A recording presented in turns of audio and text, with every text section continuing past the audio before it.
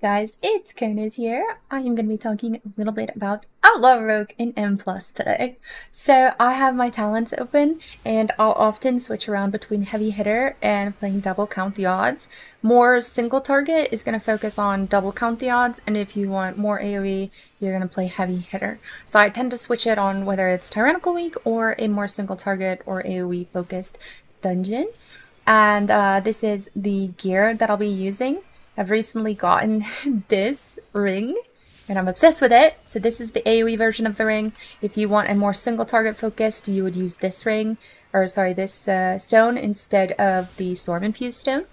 So I can show you overall how much damage that does. And Okay, and since I suck at uh, talking and playing at the same time, I have a pre-recorded video that I am going to be going over to show you my rotation as Outlaw in M+. Now, the great thing about Outlaw is your single target rotation is exactly the same as your AoE rotation. The only difference is, is you wouldn't plus Blade Flurry in single target. Um, so I'm only going to be making one video on Outlaw since you basically do the same exact thing on single target.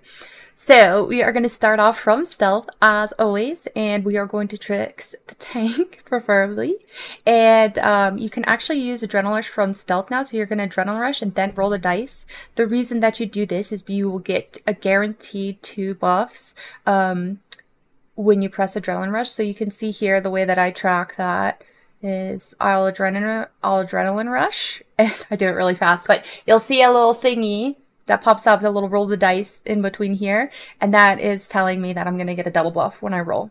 You can proc more than a double buff. Sometimes you can get a five buff if you're lucky. Now you're going to open from stealth because I am playing subterfuge. It is a DPS gain to open from stealth with Blade Flurry and then go into your ambush. If you're not playing with subterfuge, then you would just open with ambush. Um, but since I am playing with subterfuge, I'm going to open with Blade Flurry here and then I'm going to go immediately into my ambushes. Uh, you want to try and get two ambushes off. You should be able to do that. So I get one ambush off and then I slice and dice. I get that up right away. And then I do um, another ambush and then you will in between the eyes. Uh, you're going to put that on your main target and just make sure you keep that buff up. Um, you can see it up here on the target. Now, after that, there are a few different things that you, you would do, right? You kind of have a priority list. Right now, I do not have an ambush proc. If I have an ambush proc, I am going to use it. That's your number one prio, ambush, because we're playing the ambush build. So, no ambush is up, uh, but I do have a pistol shot proc. So I'm going to use my pistol shot proc here. And now I have an ambush proc. So I will finish, because I'm full on combo points. I'm going to dispatch and then I'm going to immediately ambush, right? And I you can press your unused trinket, whatever you want, uh, just depending on the pull that you're doing. If you have it, if you don't have it, you can press your on like on use trinket whenever you want. Um, yep. And so then we're just going to continue. So okay, the only time you're going to use Shadow Dance is to fish for procs and just spam ambushes. You do not want to shadow dance when you're at low energy because you will get literally no ambushes off. Now we are playing one count the odds. Right now I'm playing with heavy hitter one count the odds. So every time you ambush, it's going to give you a chance to proc another um, roll. So the important things about Shadow Dance is you don't want to use it when you're at low energy. And if you already have ambush procs and pistol shot procs up, it's not worth it to use it, in my opinion. I don't. I finish using all my procs, and then when I'm like out of juice, that's when I press my shadow dance. And when you're in your shadow dance, you're going to ignore your pistol shot procs. Okay. You're just kind of going to pool them. You're just going to be spamming ambush. And I get like super unlucky in here and I get no pistol shot procs in my shadow dance. So that's like super unlucky.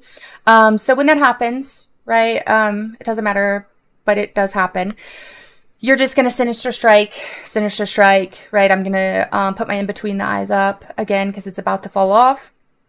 Sinister Strike to full combo points and just finish until you get procs. The other thing you can do is if you've used your Shadow Dance and you still don't have any procs, is you can Vanish. Vanish with my Subterfuge is going to give me two to three, if I'm lucky, um, uh, ambush ambushes and possibly fish for some procs. Um, so that's the other thing you can do if you're out of out of procs. So you can see here I get a proc. I'm happy. I use my proc. But sometimes when you use a pistol shot proc, you don't get any ambushes.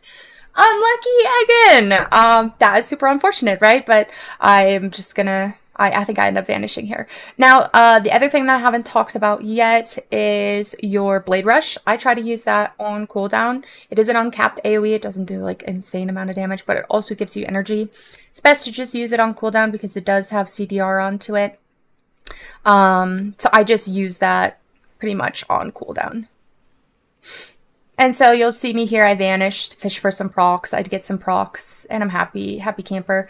You want to try to finish at max combo points or at, um, what is it, six? What is it? One, two, three. Yeah, six. six or seven combo points. Sorry, they keep changing the combo points, so I got confused. Yeah, you want to try and finish at max combo points or six combo points. That is going to give you the most damage output. And, um, that is basically the rotation. So, all right. And then if we just look at my damage breakdown, um, we can see the breakdown of the ring. It does, I would say, anywhere from like 8 to 11% of my overall damage in a key. Um, so I really like playing with it. Um, and then you can also see down here, this is the flaring cowl and um, the um, first boss of the raid ring. And so that accounts for, don't know, looks like a little less than 2% of my damage. I would say that's about about right. Um, yeah, and so that's my damage breakdown, and that is my guide for Outlaw Rogue M+. Plus. If you have any questions, let me know down in the comments. Uh, don't forget to follow and subscribe. Thanks for watching, guys, and I hope it helped.